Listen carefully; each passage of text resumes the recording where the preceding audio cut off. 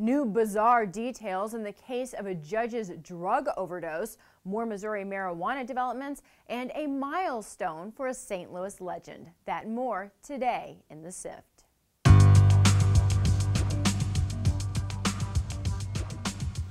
Today's SIFT brought to you by Rothman Furniture. Welcome to the SIFT. I'm Gabrielle Biondo, filtering through some of the most talked about stories in St. Louis. New details about what investigators found at that hunting cabin where former St. Clair County Judge Joe Christ died of a cocaine overdose.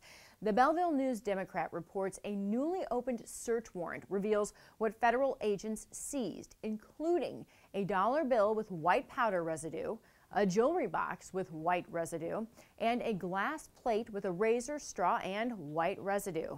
And get this, the BND says a red vial with white powder fell onto the autopsy table as Christ's body was being undressed. Now, guns were also seized, but it was a hunting cabin.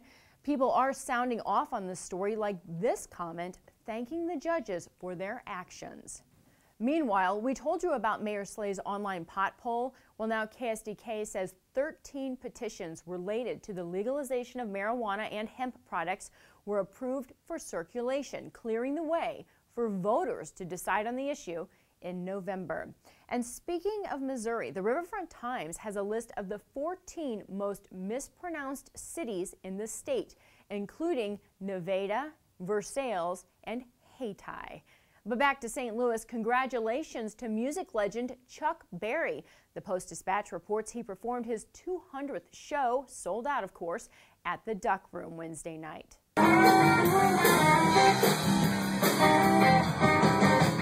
Missed it, Berry will perform again February 19th, making it 201 Duck Room shows. You want more on these stories? Get links to all of them right below this video. And don't forget to follow Real Time STL on Facebook, Twitter, Google, and YouTube.